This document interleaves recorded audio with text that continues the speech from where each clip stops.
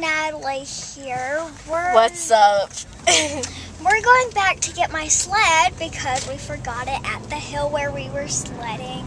So horrible. yep. Cause see, we got back, and then we were just like, "Thank you."